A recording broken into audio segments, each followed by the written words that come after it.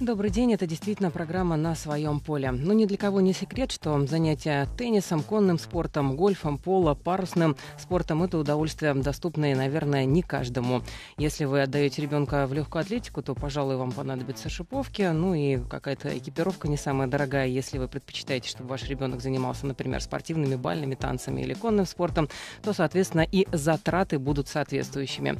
Это элитный вид спорта, и я подозреваю, что, наверное, к большинству российских семей э, неприменимо понятие «хочу отдать ребенка в конный спорт или в гольф или в поло. Но будем сегодня об этом разбираться. Действительно ли элитный или доступный вид спорта? Сегодня мы говорим про гольф.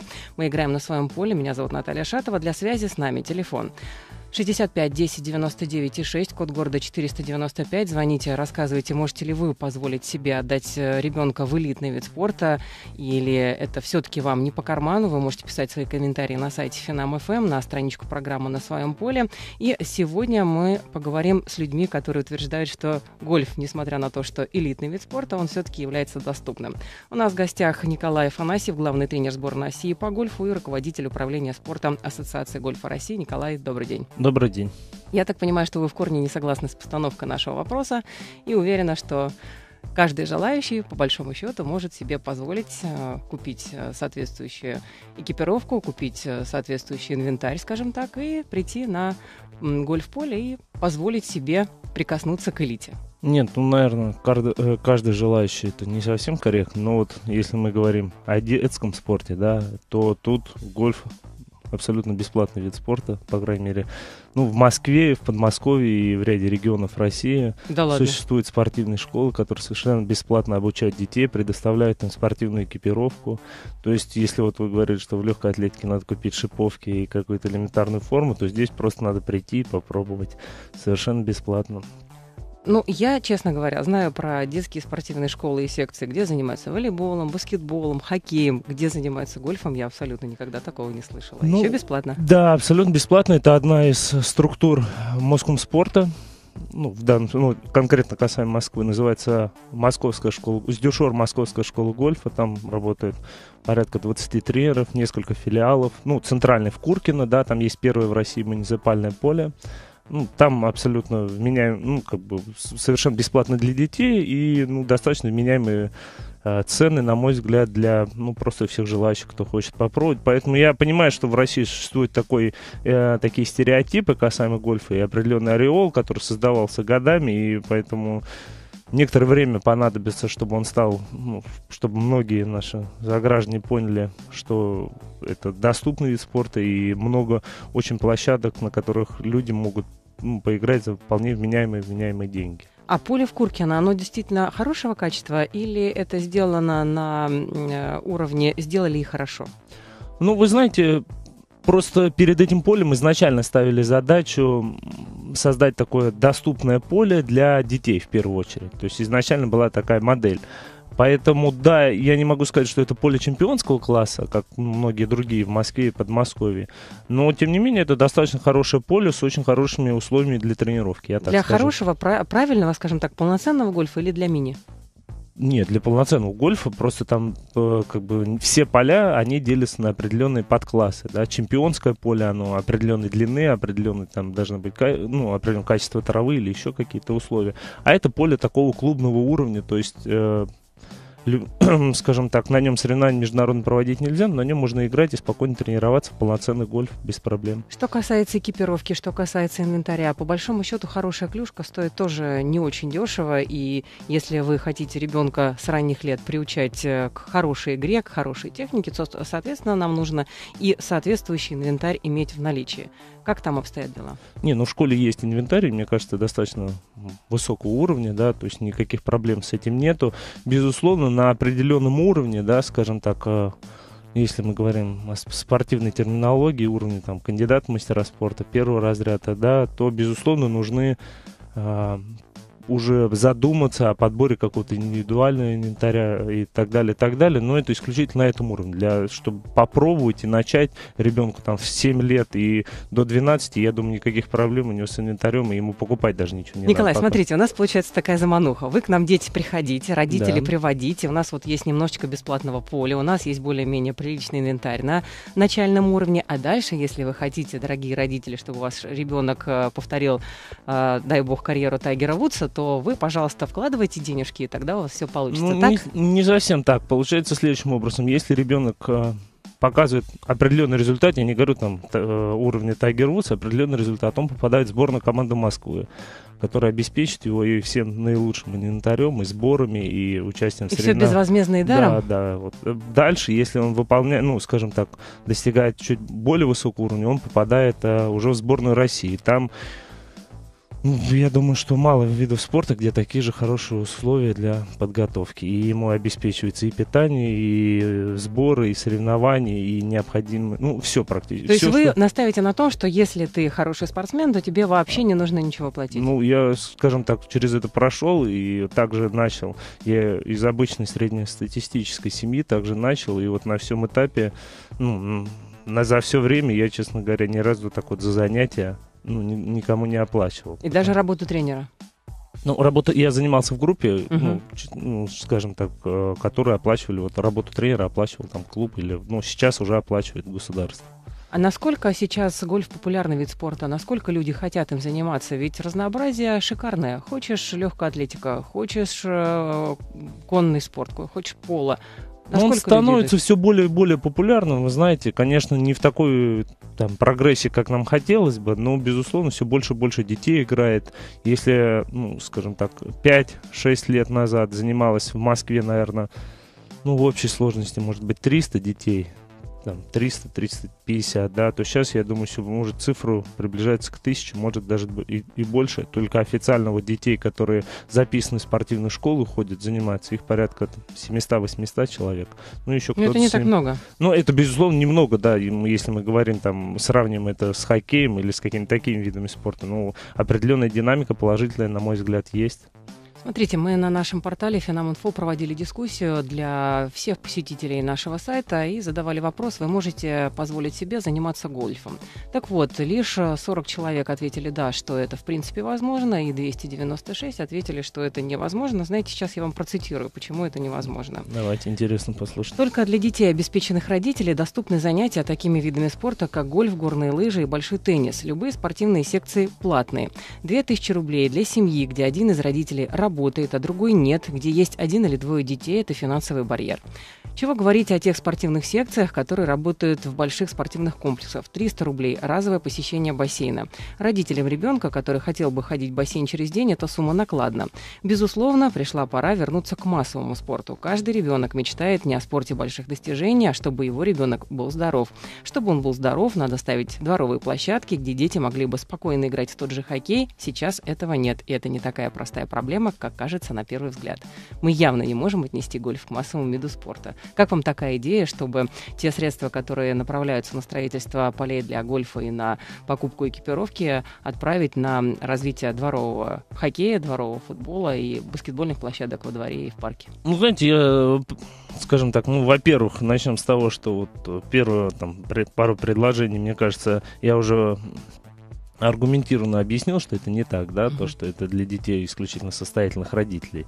Это раз. Во-вторых, э, если относиться к распределению средств таким образом, да, то есть я эту позицию уже несколько раз слышал и скажем так, э, дискутировал на эту тему, то тут можно очень далеко уйти, понимаете, потому что вот э, я считаю, что все виды спорта, особенно те, которые представлены на Олимпийских играх, должны, ну, насколько это возможно, в равной степени развиваться, поскольку это дает ну, нашим детям и, скажем так, э, всем, кто увлечен спортом, да, какой-то выбор. Если мы будем развивать какой-то один, там, допустим, хоккей, да, я очень к нему положительно отношусь, давайте развивать хоккей, тогда другие виды пострадают. Но это не совсем правильно, да, в определенной степени есть какая-то, наверное, концепция и стратегия развития спорта в стране, и, и как мне кажется, мы должны ее реализовывать в, в таком виде, в котором она есть, развивать каждый вид спорта, ну, по мере возможности, да, и сказать, что давайте возьмем из одного вида спорта и отдадим все другому виду спорта, ну, а если у того извините, а тот вид спорта, в который передали, там что-то не получится. Тогда Николай, мы... ну смотрите, вы обрисовали идеальную ситуацию. Вы приходите, у вас все получается, вы технически одарены, у вас все в порядке э, с, э, грубо говоря, там, с техникой удара, и вы стали э, сначала членом сборной команды Москвы, потом сборной России. Если я к таковым не отношусь, если мне нравится просто играть, я не вхожу в сборную страны, я не вхожу в сборную России или в Москву, э, mm-hmm. в состав национальной команды не mm-hmm. прохожу. Что дальше? Ну, тут существует несколько вариантов развития событий. Если, то есть до 18 лет вы играете вот в таком бесплатном режиме, пробуйте, у вас там получается, не получается по-разному. Дальше, если вы хотите продолжать заниматься, то существуют поля, вот, ну, как в Куркино, uh-huh. в Подмос... ну, несколько полей в Подмосковье, а, которые, ну, там, гольф-клуб «Тайгер», которые предоставляют, на мой взгляд, вполне вменяемые Э, условия финансовые, по которым просто человек может прийти и продолжать заниматься. Например, игра на поле 9 э, лунок, что по продолжительности составляет, наверное, 2,5-3 часа, стоит 2, там, 2,5 тысячи рублей. Каждое занятие, каждое Нет, игра. не каждое занятие, просто человек приходит и самостоятельно идет играть. Я должна при этом быть э, обязана членом клуба, или Нет. я могу разовое посещение ну, купить? Ну, разовое посещение. Понимаете, что тут сам по себе структура гольф-клубов она, ну, такая же, как там в других фитнес-клубах. Где-то можно, где-то нельзя. Это каждый выбирает сам. Тему гольфа продолжим. У нас сейчас новости на Финам Итак, мы сегодня говорим о гольфе и пытаемся понять, элитный это или доступный вид спорта. Если у вас есть свое мнение по этому поводу, если вы отдали своего ребенка и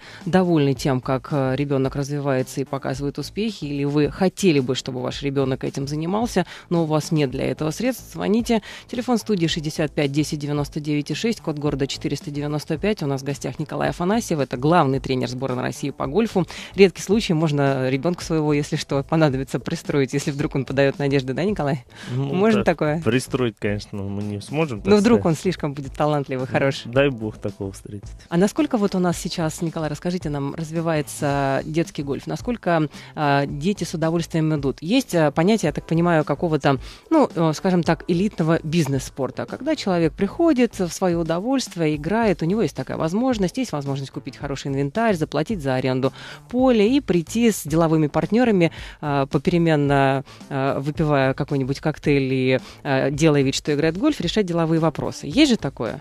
И есть гольф как вид спорта.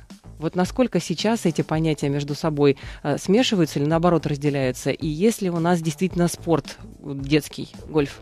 Ну, вы знаете, я считаю, что если государство обратил внимание, открыл целую спортивную школу, то значит все-таки какие-то предпосылки к этому было. Они же не открывают просто от того, что вот захотели, открыли. Там определенная критическая масса детей появляется, которые хотят заниматься, которые, ну, видят это своим будущим, которые хотят стать профессиональными спортсменами. А, соответственно, на мой взгляд, это развивается достаточно быстро, и все больше и больше детей играет, и они действительно заинтересованы этим. Сейчас вот э, реализуется программа школьного гольфа, где непосредственно урок физкультуры даже будут препод, ну, преподавать гольф, и дети будут пробовать заниматься. Я хочу сообщить для наших слушателей, что у нас приятное пополнение в нашей компании. К нам присоединяется Елена Ахмедьянова, она директор Ассоциации Гольфа России. Елена, добрый день. Здравствуйте. Мы вот тут обсуждаем, насколько э, сейчас актуально развитие э, гольфа или все-таки лучше отдать те деньги, которые э, есть у государства на развитие более доступных и более массовых видов спорта. Вот ваше мнение нам тоже очень интересно. Что скажете? Ну, сегодня, на сегодняшний день, конечно, пока еще не идет речи о том, что мы от государства имеем какую-то серьезную поддержку и государство сегодня готово тратить деньги. Вот Николай упомянул о программе школьного гольфа. Это наши первые шаги а, а, с помощью которых мы пытаемся искать поддержки бюджетной, но она тоже а, не имеет под собой серьезной финансовой нагрузки, потому что мы также поработали над неким пулом поставщиков специализированного оборудования, mm-hmm. э, подходящего для школьников от 1 до 11 класса. То есть оно специальное, безопасное, э, соответствует всем э, гигиеническим стандартам и так далее. Оно совершенно недорогое. И Давайте это, цены обозначим. У это нас 25 есть тысяч рублей за комплект для всей школы. Для всей школы? Для всей школы, да, с помощью которого можно проводить на уроках физкультуры э, тренировочный и небольшой ознакомительный процесс, с помощью которого дети смогут понимать, что это такое такое, из каких составных частей состоит этот вид спорта, э, какая даже не аббревиатура, а а какие определения применяются. И когда ребенок подрастает и вдруг слышит это где-то среди интересов э, своих друзей или вдруг узнает, что поблизости есть какие-то школы, клубы и так далее, для него это не новое. Его, ему не придется с самого начала, с самых азов изучать, что это значит. Мы говорим про 25 тысяч э, за комплект для целой школы. Да. Если мы говорим а, про индивидуальный комплект для а, ребенка, который вот только начинает первый, второй год а, обучения, угу. во сколько ему обойдется или его родителям, если он хочет, чтобы у него был своя, своя индивидуальная клюшка, своя хорошая экипировка, сколько это стоит? Я бы хотела для начала особое, э, особо отметить следующий факт. Для того, чтобы начать заниматься, не обязательно сразу приобретать полный комплект. Вот Николай меня поправит, если я сейчас ошибусь. Э, первый год тренировок э, отрабатываются определенные удары, определенные движения. Для этого нужно всего лишь несколько клюшек, 4-5 клюшек да, основных. И они могут быть и не новые. Как правило, сегодня у нас существует такая тенденция, что все это передается по наследству от старшего поколения к более младшим детишкам. Лен, но, цены, Лен, очень интересно. А, но сегодня стартовый комплект полностью, наверное, можно купить тысяч 13-15. Да не больше. Даже одесский, да. если мы говорим о детях, то может и доступнее там 6-7 тысяч да. рублей.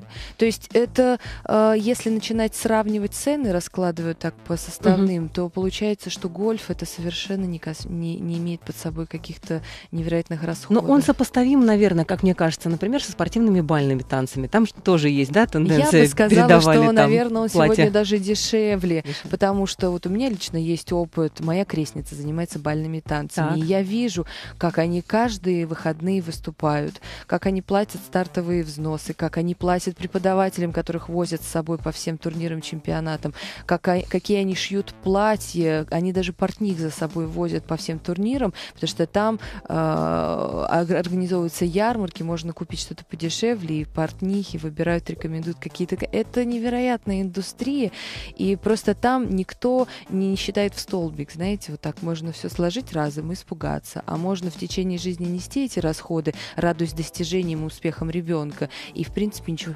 ничего пугающего не происходит. Вот в гольфе сегодня, к сожалению, сложился такой стереотип, потому что гольф нам сегодня известен по фильмам, Конечно. по каким-то ярким событиям, по успехам звезд этого вида спорта, и, естественно, там звучат сумасшедшие цифры.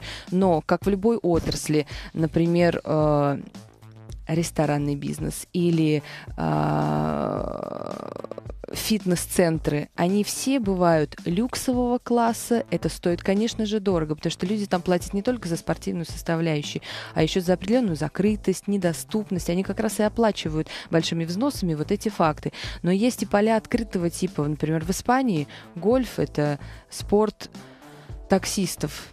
Угу. То есть не... может позволить себе тот человек, который открутил баранку целый день, у него достаточно средств да. для того, чтобы прийти и поиграть да, парочку да. часов. Именно так. Недавно я слышала историю человека, который путешествовал по Соединенным Штатам Америки, и как вот ну, такая вот э, небольшая подробность оказался без средств. Э, и слышал где-то и видел когда-то в кино, что можно в гольф-клубе подработать кэдди. Он пришел в гольф-клуб, посмотрел, походил, видит э, такой крепкий, высокий мужчина разминается, собирается на поле, э, подошел к нему и говорит, а давайте я вот вам за небольшую плату поношу вашу сумку. Так. Э, тот человек сказал, с удовольствием вы можете пройти со мной поле, я с вами пообщаюсь, но сумку я буду носить сам. Э, и в процессе разговора выяснилось, что это водитель школьного автобуса. Понимаете, просто, к сожалению, отсутствие информации на сегодняшний день порождает вот массу этих мифов. Есть э, вопрос сразу и к Николаю и к Елене. Расскажите мне, пожалуйста, в связи с чем вдруг заговорили про гольф? Понятно, что пришли фильмы. Открылся занавес, и люди вдруг увидели, что помимо хоккея и помимо футбола есть еще какие-то такие вот интересные виды спорта для нас до этого неведомые. Или э, вдруг всплеск пошел в связи с тем, что начались телевизионные трансляции. Люди стали смотреть, как это. Это вот что-то интересное. Можно попробовать. С чем это происходит? С чем Если связано? говорить о всплеске о гольфе, связанном с сегодняшней ситуацией, Да. то это, конечно же, включение этого вида спорта в Олимпийскую программу 2016 года. В 2010 году было принято Да. решение Мгм. комиссии МОК, и, естественно, теперь мы имеем право более пристально требовать к себе внимания со стороны органов исполнительной власти в том числе, потому что э, нужна поддержка, нужна поддержка для сборной, нужна поддержка для детско-юношеского спорта, но эта поддержка, мы сегодня не говорим о том, что нужно построить в каждом районе поле или драйвин рейндж. Возможно, мы сегодня к этому не готовы. Я считаю, что мы способны сегодня создать э, в рамках э, э, обычного рынка спрос на этот вид спорта, и тогда инфраструктура начнет строиться само собой по, ну, по, на основе какой-то бизнес-инициативы, когда люди поймут, что эта инфраструктура окупаема.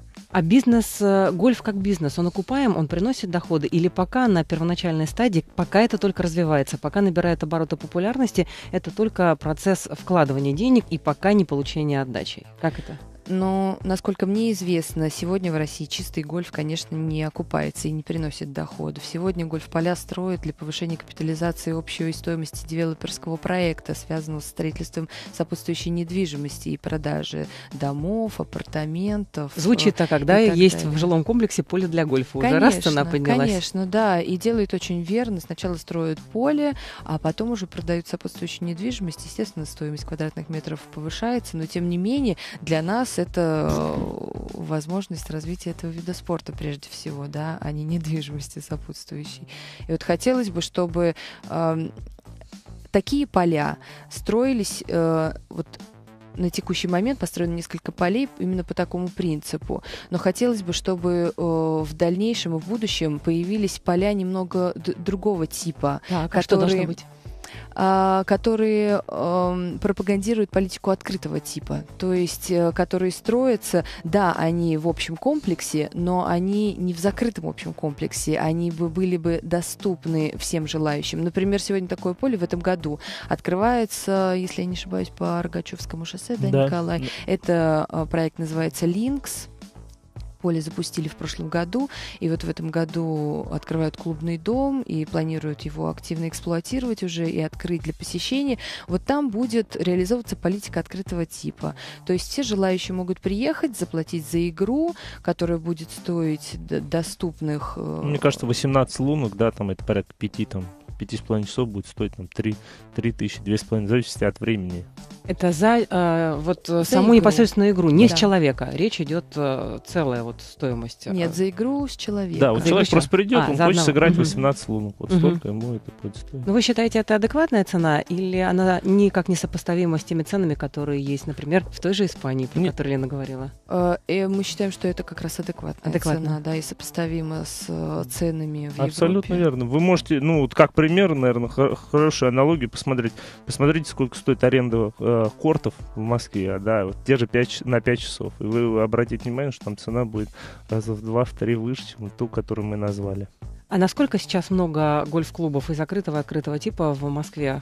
Сколько есть возможности у меня прийти и выбрать в нужном мне районе, в близлежащем от А, меня? Ну, если говорить о том, что вы начинающий гольфист, наверное, стоит рассказать немножко, приоткрыть некую, некую технологию такого спортивного пути. Сначала вас на поле, конечно же, никто не пустит, потому что вы не обладаете навыками, вы будете замедлять игру, мешать окружающим и Сначала так меня далее. отправят в стан новичков. Э, да, стан Лен, можно я новичков. вас немножечко сейчас прерву? У нас сейчас новости о том, как э, стать из начинающего гольфиста в профессионала. Расскажем э, после новостей сейчас на Финам ФМ новости.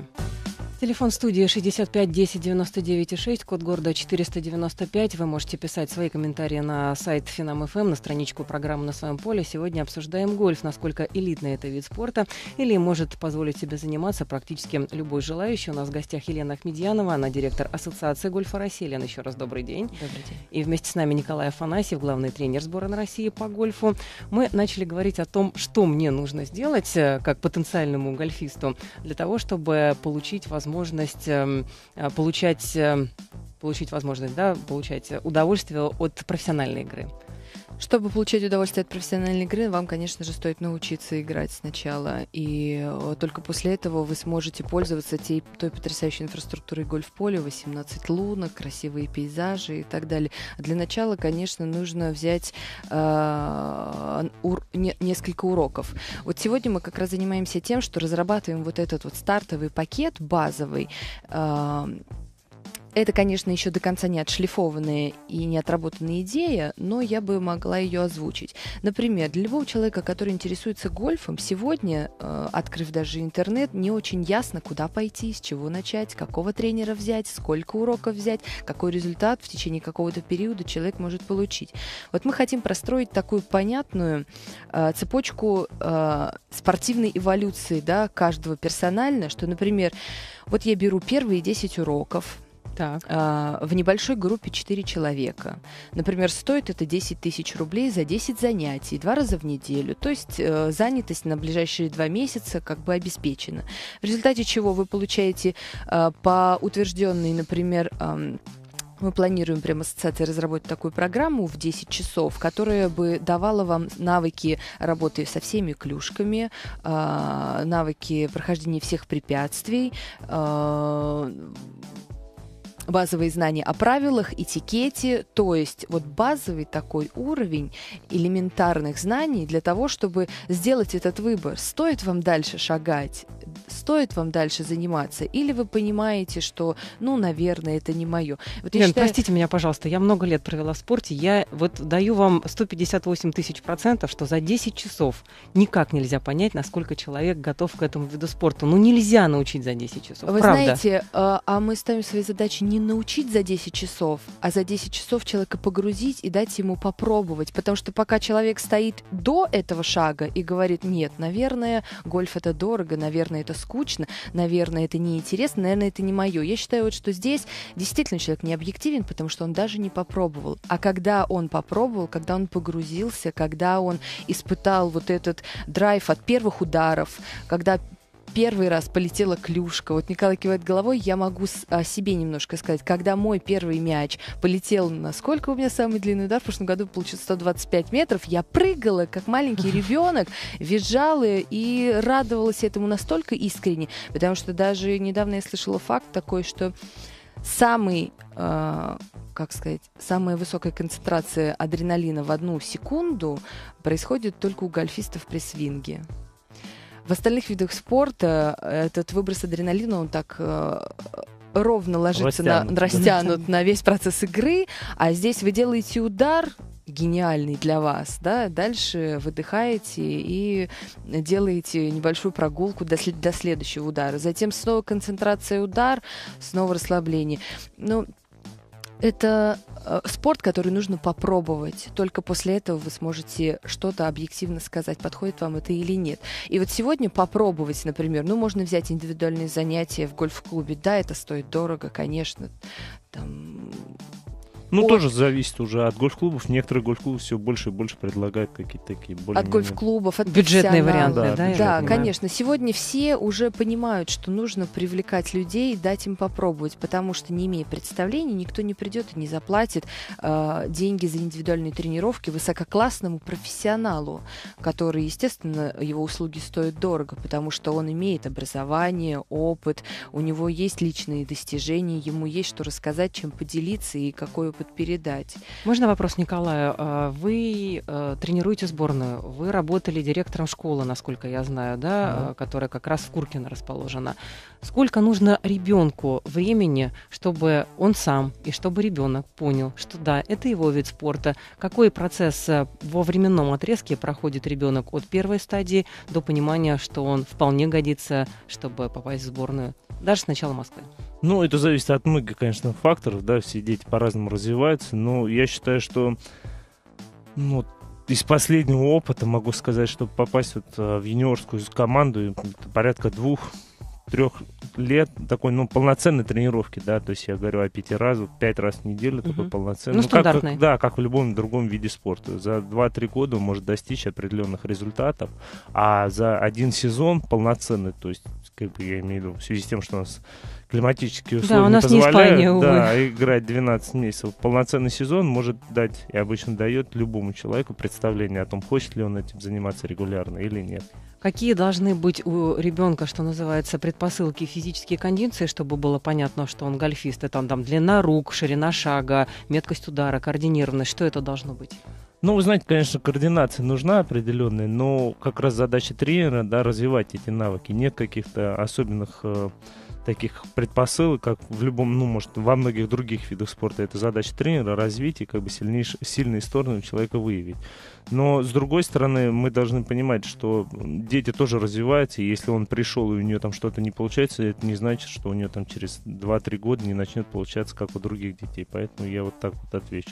А что э, в итоге гольф развивает? Вот э, когда я начинаю заниматься гольфом, я в итоге получаю вот такие свои технические характеристики тела. Ну, знаете, сейчас вот последнее время, если мы говорим о гольфе как о виде спорта да. исключительно, он все больше и выше и выше требований именно непосредственно спортивных спортивным навыкам и качествам спортсмена, да, то есть это безусловно и это и координация, ловкость, э, гибкость, э, ну, очень важен психологический фактор. То есть все эти аспекты гольф развивает и ну, скоростно-силовые качества тоже, безусловно, затрагивает. Так что я считаю, он такой достаточно разносторонний, хоть со стороны он и смотрится, что это такое тихое, спокойное времяпрепровождение. Просто, когда именно мы говорим о спорте, это достаточно насыщенный такой э, серьезный вид спорта. Смотрите, в связи с тем, что гольф стал олимпийским видом спорта, понятное дело, что, во-первых, конечно, к нему увеличился интерес, да, Елена, вы об этом нам сказали, но и финансирование немножко по другому плану уже теперь строится. Если это официальный вид спорта, в котором собирается наша страна принимать участие, соответственно, нам нужна хорошая м- тренерская э, школа, нам нужны спортсмены, которые бы представляли нашу страну. Вот в связи с этим, каким образом э, сейчас идет финансирование? Как вы его получаете? Получаете ли вы вообще или пока тоже вынуждены ходить по спонсорам?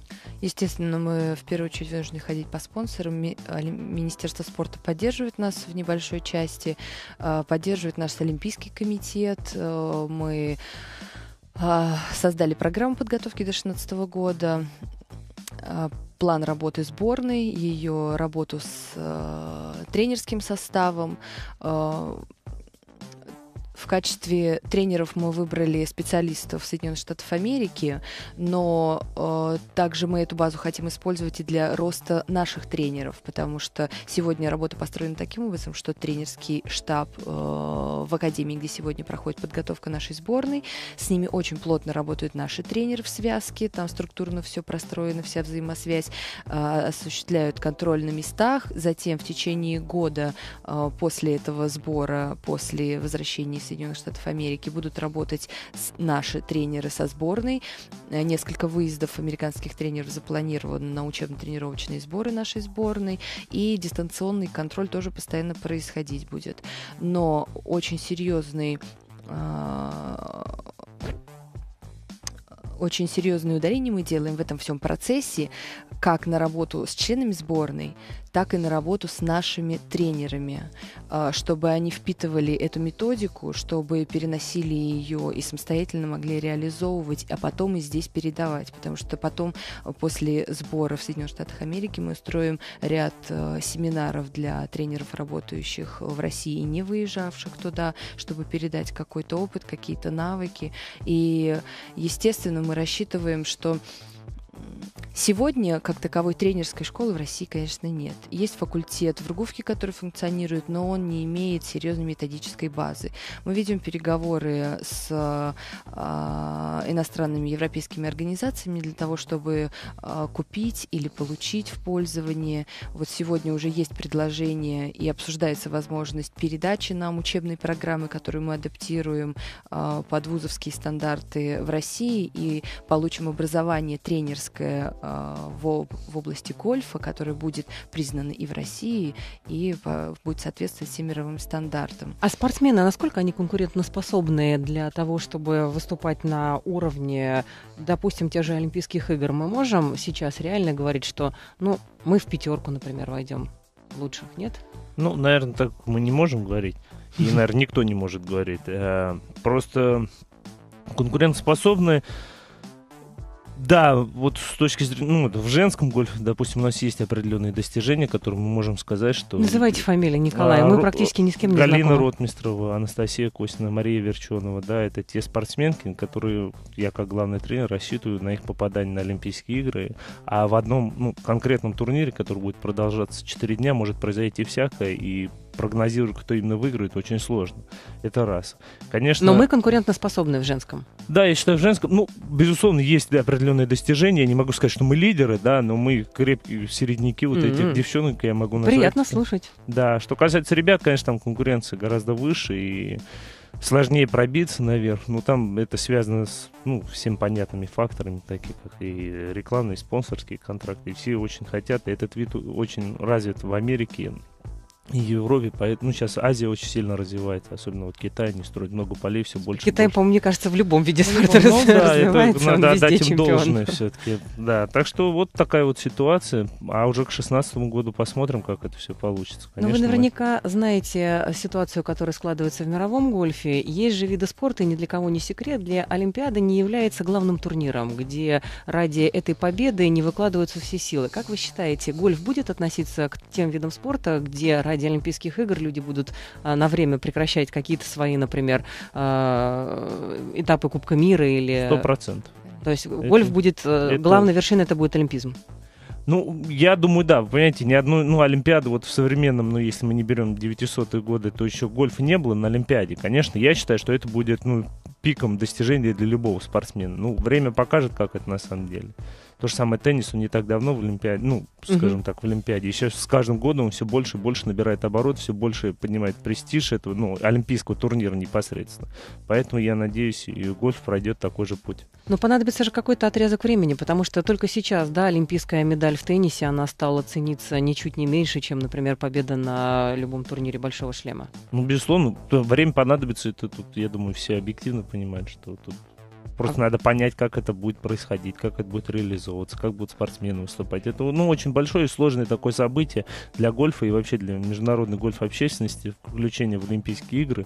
И все очень, скажем так, вдохновлены, с одной стороны. С другой стороны, э, очень сложно представить, как это будет и как это... Как Но вы будет. хотите и боитесь, или, ну так, так, побаиваетесь, скажем так, опасаетесь, или просто только хотите вот Мы новое? просто хотим, понимаете. Мы как для нас это очень, очень большое событие. Вы знаете, как к Олимпийским играм относятся в России, все ждут с нетерпением, да, все да, ожидают. потирают руки. Да, просто тут я бы не сказал, просто в других странах ну, относятся к этому так э, менее внимательно. У нас, конечно, ожидания в первую очередь и ожидания ну, хорошего.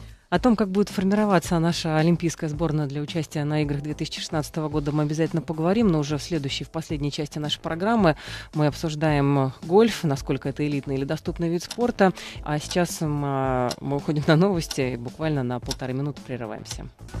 Я еще раз приветствую тех, кто только что к нам присоединился. У нас весьма занимательная тема для тех, кто собирается играть в гольф. Мы обсуждаем, сколько это стоит, насколько это возможно. И у нас сегодня гости, которые утверждают, что мало того, что это возможно, у нас есть еще все для этого условия. У нас Елена Ахмедьянова, директор Ассоциации гольфа России, и Николай Афанасьев в гостях. Лен, вы сказали, что это не только возможно, но и сейчас есть для этого все условия. Есть базы, есть э, тренеры и есть у нас э, вся необходимая инфраструктура. Рассказывайте, что есть.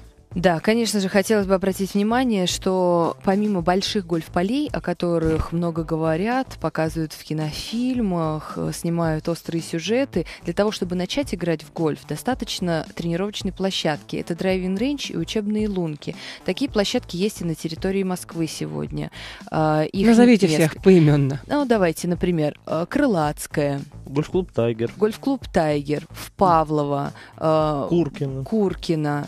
А, есть driving range э, в Лужниках, который будет восстановлен в этом году. Да, на Лиственничной аллее. На Лиственничной аллее. В Тимирязевской академии есть да driving range. Видите, вы согласитесь, согласитесь со мной, что есть площадки, и они достаточно рассредоточены по географическому принципу. Угу. Можно выбрать место, в которое э, приехать два раза в неделю, чтобы взять урок и получить навыки игры в гольф. Цена вопроса 10 тысяч за 10 занятий. Да, мы хотим в этом году запустить такую стандартную программу, которую будут реализовывать как бы аккредитованные нами профессионалы, тренеры, которые возьмутся реализовывать эту программу, площадки, которые согласятся работать в рамках этой программы, и мы через ассоциацию будем э, реализовывать это, этот, эту программу наполнять группы, то есть каждый сможет выбрать, каждый желающий получить этот тренировочный процесс сможет выбрать по территориальному принципу подходящую ему площадку, согласовывается время и запускается эта группа. 10 занятий два раза в неделю, то есть за полтора месяца человек может получить базовые навыки. Я еще раз говорю, это, конечно же, не высочайшее мастерство.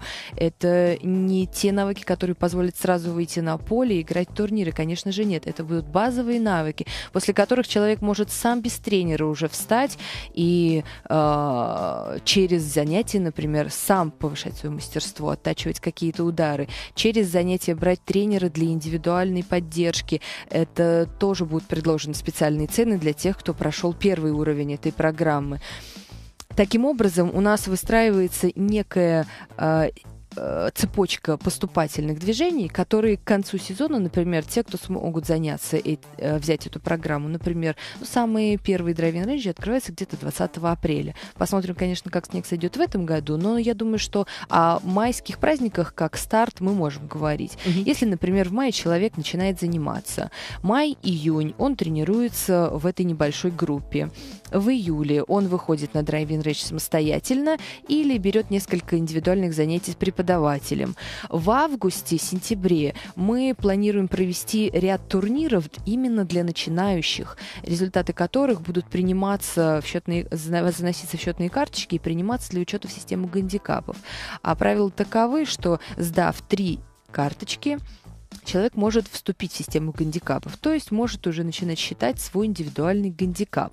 А наличие регистрации в системе гандикапов позволяет ему уже принимать участие и в турнирах следующего этапа. То есть для самых э, высоких гандикаповых групп проводятся такие турниры на территории России, выездные. А функционируют они как клубы по интересам, когда люди объединяются и между собой играют, органи- самоорганизовываясь. Есть у нас в России несколько промоутеров, которые проводят такие турниры. Компания Гольф Профи проводит турниры. Я знаю еще несколько... У вас, в общем, выстроена прям так система уже, что должно она, быть? Она, понимаете, она сегодня существует, но она не э, э, логически пока что не взаимосвязано. Вот задачу на этот год перед собой мы такую ставим, все это логически увязать и практически на блюдечке с голубой каемочкой преподнести это в доступной форме, чтобы люди видели, что беря базовые уроки, платишь за это такие-то деньги, получаешь такие-то навыки. Потому что сегодня, беря индивидуального преподавателя, ты не имеешь гарантии, что в течение сезона ты научишься играть, или в течение сезона ты сможешь выйти на турнир, если ты ставишь себе такую задачу. Как бы сегодня иногда э, индивидуальные тренировки нацелены на времяпрепровождение в приятной компании, приятной обстановке. На бизнес-переговоры. На бизнес-переговоры. Но цели у каждого могут быть разные, да. У кого-то есть и такие цели добиться понятного результата. То есть ты можешь поставить себе цель в конце сезона сыграть турнир. Угу. Вот, пожалуйста, тебе понятная цепочка шагов, которые ты можешь предпринять за понятные деньги. Э, пожалуйста. Николай, смотрите, вы тренер сборной России. Для вас самое главное подготовить команду, которая бы представляла страну на турнирах самого высокого ранга класса, в том числе Олимпийские игры. Лена выстраивает свою систему, да, со своей стороны. Как это все происходит? Вы, как тренер профессиональный, обращайте внимание на тех любителей, которые добиваются хороших результатов. Ведь есть же люди, которые где-то там за границей приезжают тренируются, у кого дом там стоят какие-то мини такие э, установки, да, для гольфа, они оттачивают удар. Вы на таких смотрите или для вас это все-таки любители и на профессионалы они не тянут? Ну, вы знаете, в конце концов, основанием для попадания в команду всегда является результат, и мы, безусловно, стараемся отслеживать и заниматься селекцией, да, смотреть, потому что, как вы правильно сказали, очень много детей и, ну, и взрослых тренируются за границей, повышают свой там Э, уровень мастерства именно там, мы стараемся отслеживать, мониторить, да, эти турниры и так далее. И поэтому мы всегда стараемся обратить внимание на тех, кто себя достойно проявляет. А ну, есть такие люди, которые да, начинают можно... заниматься как э, любители, а в итоге вырастают до уровня хороших высокопрофессиональных спортсменов? Ну, вы знаете, вообще, честно говоря, есть и такие люди. Ну, как правило, все обычно заним... Э, начинают заниматься просто для себя. Нет такого, что кто-то человек пришел и сказал, все, я стану там победителем международных турниров. Все начинают заниматься, пробуют, просто понравится, не понравится зависит там от компании, в которой, ну, для детей очень важно, там много друзей, они там проводят время, для них это Это просто интерес. И потом с, определен... ну, с определенного момента они понимают, что получается лучше, что им хочется обыграть, что им хочется двигаться вперед. А возрастной ценз есть? Нет, вы знаете, вот, честно говоря, в гольфе такого критического нет. возрастного ценза нет. Вот, по крайней ну, у нас тоже есть турнир Большого шлема, вот, который uh-huh. проходит по аналогии с теннисом. Uh-huh. И два года назад самым младшим победителем стал человек в возрасте 21 год, самым возрастным стал человек в возрасте 42 года. Uh-huh. То есть, если мне там, грубо говоря, 40, ну, к примеру, и я хочу заниматься, у меня все идет и все хорошо, то к 2016 году, если я гениально себя проявлю на тренировочных турнирах, вы вполне можете рассмотреть меня как кандидата в сборную стороны. Мы готовы рассмотреть Конечно. всех, кто... Дело же еще Какая в том, демократичная, что... оказывается, у вас история. Удивительно. А дело в том, что еще все ваши достижения, они же регистрируются в определенных рейтингах. Э, в рейтинге российском, в рейтинге международном. И Николай почему-то не припоминает конкретного примера. Про... Э, на чемпионате России прошлого года у нас с победителями по результатам чемпионата России была сформирована сборная, списки которой мы согласовываем в Министерстве спорта. И в эту сборную были включены э, те, кто занял призовые места, и это люди, которые... Я фамилию сейчас не вспомню. Ну, это спортсмены, которые... Спортсмены, которые не ставили перед собой задачи да, достижений это... высоких, но вот они участвовали в чемпионате России, они показали высокие результаты, они заняли призовые места, и по регламентам нашим внутренним спортивным, согласованным с Минспортом, они попадают в состав сборной страны. Слушайте, получается, что в гольфе, как в таковом профессиональном спорте, нет деления на профессионалов и нет есть. деления на, дел... на любителей? Есть. Или просто нет вот этой есть, грани? оно очень, оно очень имеет жесткие границы, и внутри каждого сообщества профессионального и любительского работают свои законы, вот чемпионат России, он, он, он в календаре Европейской ассоциации, которая является э, любительской. Любительской а, орга, организацией, поддерживающей любительский гольф. И ее календарь является любительским, в его состав включаются любительские турниры. Поэтому и чемпионат России у нас в прошлом году был исключительно любительским. А. В нем принимали участие любители. До этого чемпионат России был смешанным. В нем принимали участие и профессионалы, и любители.